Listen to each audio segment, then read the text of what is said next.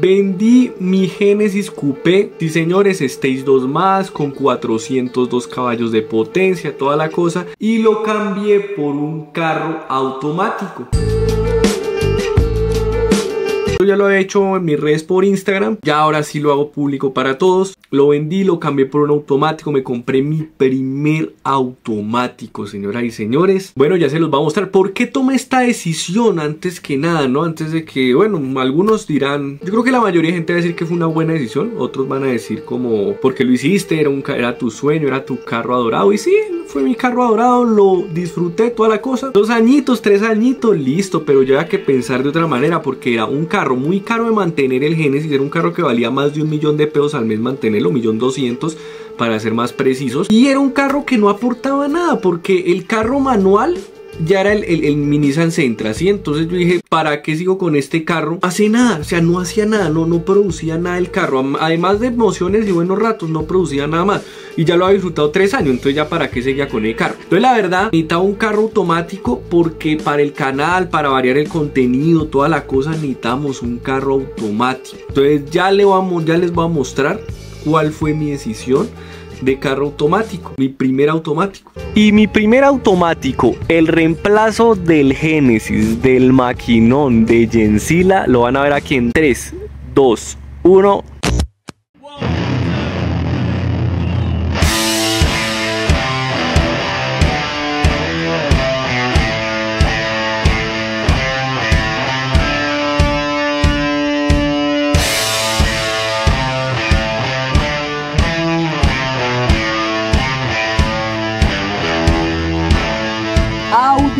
A4, señoras y señores. El A4 generalmente es conocido por ser 1.8 turbo.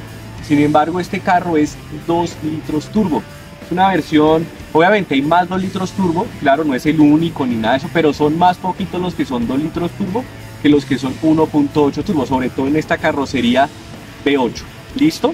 No V8, no V8, sino V larga 8, que es como la referencia de estos Audi A4. Este es un A4 que se le ha metido mucho amor, mucho cariño. ¿Por qué? Porque como se dan cuenta, se le han metido cositas de Audi RS4. La parrilla, la plaquita a un lado para que la parrilla quede descubierta, los rines, frenos Brembo, RIN 19, ¿no? RIN 19 con llanta más anchita, es una llanta 235-40, RIN R19. Los frenos son Brembo, freno ventilado, ranurado y perforado en las cuatro ruedas, vean atrás, ¿sí ven?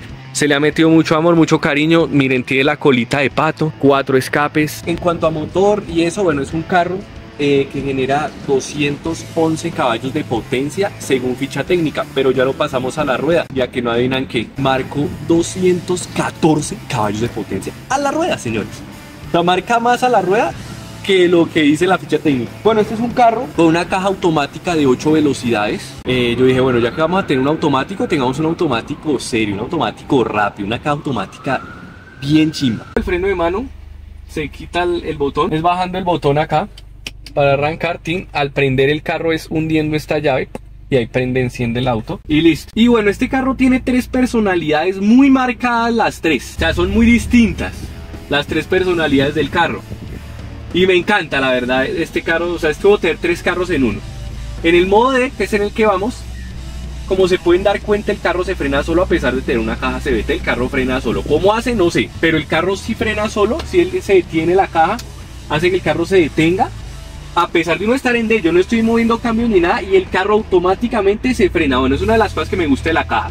Lo otro bueno, vamos en modo D y como ustedes se dan cuenta, el carro está sonando súper suavecito. El carro, en este momento vamos a 25 kilómetros por el carro a 1100 revoluciones. Y así ustedes vayan a 20, a 70, 80, 90, el carro no pasa de 1500 revoluciones, a menos de que ustedes le metan duro el acelerador. Pero si no, el carro va ahí suavecito y no importa la velocidad a la que ustedes vayan, eh, vayan el carro siempre va a ir a mil revoluciones. Es una cosa increíble, miren. Miren, aquí llamo a 38. Bueno, ahí subió a 2, pero porque vamos subiendo. Pero miren, miren cómo se mantiene, ya casi a 50. Y él se va manteniendo. Y miren, aquí ya llegó a plano y miren. Miren, así yo lo acelere. Miren, yo sigo ganando velocidad. Y el carro, miren, va a mil eh, como 1300 revoluciones. Él no casi nunca sube 1500 revoluciones. Realmente es un carro que anda siempre muy suavemente. Es como un tapetico. A pesar de tener el downpipe y la tubería a 3 pulgadas, el carro va súper suave porque lo que les digo, él va con su caja CBT, que es una caja multimarcha, ¿no? Multitrónica. Y pues obviamente al ser multitrónica tiene mil marchas. O sea, si ustedes, él tiene ocho velocidades marcadas, si ustedes lo hacen con las paletas de aquí atrás. Pero si no, el carro va multimarcha y entonces él siempre va a andar a...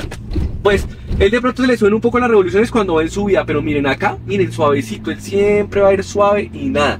Bueno, vamos a cambiar la personalidad después de que cambie el semáforo. Ah, ya le puse modo manual. ¿Cómo se pone el modo manual? Hay dos opciones. En la caja le podemos mover esto hacia un lado con el más y el menos o la otra es con las paletas. Ustedes van en D y si le ponen la paleta de positivo o de negativo, la de más o menos, ya, eh, ya el carro se pone en modo manual. Aquí vamos en segunda. Y pues bueno, el modo manual sí es como un carro manual, solo que sin clutch, ¿no? Y ustedes tienen 8 cambios. Aquí voy en segunda, tenemos 6 más. Ya se bajó a primera, ya lo bajamos a primera acá. Y pues obviamente el sonido del carro y todo cambia. El carro ya se vuelve más terrenator así el carro es súper pacífico en D. Anda súper dormido, pero acá. ¿Qué tal ese sonido tan 30 y madre? Esperemos que en la cámara se le escucha. Ah, ¿qué tal eso como suena esa vaina? Y es inmediato, o sea, ustedes que unen la paleta y el carro que hace caso. Ah, ¿qué tal eso? Esperen y verán a que entremos ahorita al túnel y como suena ese hijo de madre. Qué rico, qué rico como suena eso. Ahí estoy jugando entre segunda y tercera. Miren la sensación, mira, aquí ya voy para el túnel. Uy, no, ah, esta vaina se metió entre el túnel. Bueno, déjenme ir un poquito ahí para que no nos hagan esto. Ya, listo. Miren esto.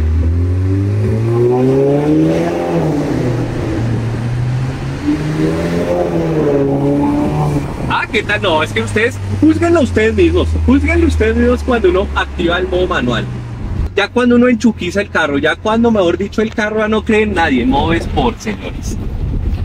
Ahí le bajamos con la caja, aquí ya no hacemos nada con las paletas, este ya es el modo enchuquizado del carro. Aquí está el modo enchuquizado del carro.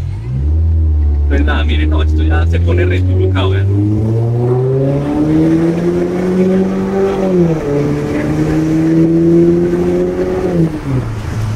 le vale madre. Cuando ustedes lo frenan, la caja frena sola. O sea, la caja sabe y devuelve el cambio sola.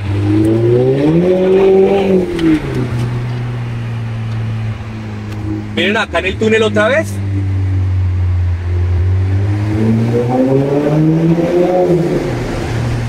Ah, no, no, no, no, no, qué cosita tan rica, qué cosita tan rica, señor. ¿Y qué me dicen de la válvula de alivio del turbo? Ah, no, no, no, es que es muy rico, muy rico.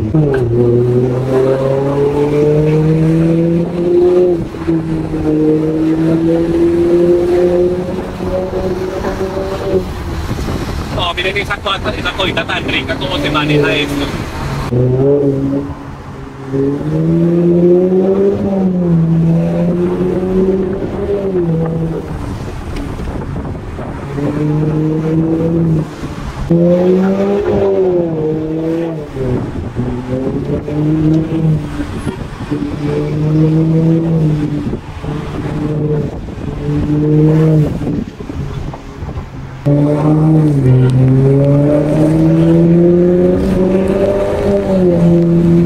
Este momento, eh, extras así de potencia no tiene muchas, solamente ya se le puso down pipe, se lo puse yo y eh, se le colocó acá un charge pipe, también se lo coloqué yo. Y también eh, otra cosa que le hicimos fue le hibridamos el turbo, ya se le hicieron esas cosas, obviamente ganó más potencia, pero después les mostraré ese video. Pero el carro original así como venía, como lo compré, 214 caballos de potencia, no tiene ninguna repro, no tiene nada, señores. En cuanto a espacio interior, bueno, tenemos de sobra, bueno, de pronto a la altura sí alcanza a pegarme un poquito, pero el material de esto es muy suave, o sea, no es que sea un techo tan duro, no es duro, entonces pues bueno, me roza el pelo, pero pues nada más. Sería peinarme de otra forma. Yo mido un 80, así que creo que estamos bien. Miren todo lo que me sobra acá de rodillas y la postura del asiento también está para mí, o sea, para una persona de un 80, miren, perfecto. Miren, aquí cabría hasta un grandote de 2 metros. Claro, los alemanes que son todos grandotes, Pues perfecto, miren. Pero sin embargo, bueno, aunque afuera se ve lindo, algunos dirán, ah, se le ve lindo, otros dirán, no se ve tan lindo, toda la cosa. La gran ventaja de este carro está en sus interiores. En los interiores de este carro, cuando ustedes entran, es una invitación. Esto es como un caramelo, es un bocadillo al conducirlo. Bueno, tenemos la caja automática del grupo BAC, odiada por muchos, que sale mala, que yo no sé qué, sí, pero pues lo que les digo, este carro se le hicieron todos los peritajes, toda la cosa, la caja está en unas condiciones envidiables, muy conservada, este carro se le compró a un médico, el médico lo tenía súper bien cuidado, todos los, los mantenimientos en Audi, o sea, súper bien, una persona súper cuidadosa y con buen gusto, porque yo no le metí nada de lo que le ven al carro. Los materiales son blandos, son finos, se sienten muy finos, miren estos detalles acá cómo se ve esto, miren. No, es que es finísimo el carro. O sea, del, del Genesis que yo tenía antes a este carro, la verdad, en los interiores sí no hay nada que ver. Por fuera, de pronto algunos dirán, ah, es que este carro tiene un cuatro puertas, el otro era un coupe deportivo, tal, el, el, el, Genesis, listo. Pero este Audi por dentro sí no hay nada que hacerle. Bueno, ya cuando ustedes ingresan, ah, bueno, mírenme, mírenme estas paleticas, ¿ah? el menos y el más. No, no, no, no, no, no, no, no. Ah, miren esto, miren esto. Bueno, tenemos las paleticas que están bastante simpáticas, obviamente eso es para reducirle y aumentarle cambios desde el volante. Tenemos aquí, bueno, para encenderlo, entonces bueno, aquí ya le encendemos el clúster de instrumentos. Tenemos todas las ayudas, todos los controles de estabilidad. Es un carro súper seguro, obviamente 5 seguridad, 5 estrellas de seguridad. Tiene toda la seguridad pasiva, activa que ustedes quieran. Aquí pues me está avisando que el capó está abierto, que las puertas están abiertas. Bueno, el freno de mano, señores, miren, ya no es un ya no es una palanca, esto es con el bot con un botón, miren. Si yo lo quiero quitar, hundo. Miren, ahí se quitó. Y si lo quiero poner, subo. Pero es un hijo de madre botón. También tiene esto que es el auto hold. Entonces, ¿qué sucede? Estos carros, digamos, si se pueden dejar en un semáforo en D, ¿cierto? En detenciones largas en D, porque le colocamos el auto hold y listo, señores. Y ahí ya el carro se puede caer en D y no avanza, no se calienta la caja. Perfecto. Pero lo que les digo, esto es en una, algunas cajas. Acá tiene, bueno, para quitar el control de estabilidad, el launch control es un carro muy completo y realmente estoy muy, muy, muy contento con el carro. Audi Symphony, aquí no les puedo colocar la música por obvias razones, por el copyright, pero realmente sí suena muy bien y es original del carro el sonido es excelente. Obviamente no es nada estruendoso, no es para ir a car audio, no es para destapar el baúl, obvio no, pero para los que van adentro del carro, eso es un masaje a los oídos. Tiene su sunroof, toda la cosa, funcional obviamente. Miren, totalmente funcional el sunroof. En cuanto a costos de mantenimiento y eso, en otro video, en, un futuro les haré otro video sobre esto porque realmente no sé. Hasta ahora lo adquirí. Entonces no sé el consumo de gasolina es parecido al Genesis porque pues son 2 litros turbo ambos, pero no sé más, no sé más, cambio de aceite valen 700 mil pesos, el del Genesis valía 400, entonces pues ahí sí hay una ventaja en contra del Audi sea, porque pues sale más caro y ya, pero no, pues de resto gastos de mantenimiento no los, no los sabré hasta que pase un año o algo así, ya les haré un video bien detallado sobre los, costos de mantenimiento de este carro. Tenemos un maletero, bueno, acá tengo pues, solamente la pijama del carro, bueno, por si se necesita o algo así. Pero bueno, es un espacio bastante grande, son 495 litros de capacidad, es un maletero, el hijo de madre tiene un maletero súper generoso. Entonces, bueno, ahí está. Ah, es un carrazo. Este carro estoy muy contento, la verdad. La verdad estoy muy, muy, muy contento con el carrito. Obviamente tiene pues vidrios eléctricos. Ah, no, es que no les he mostrado algo. Quiero que ustedes vean cómo se le acuadran la silla de este carro, miren.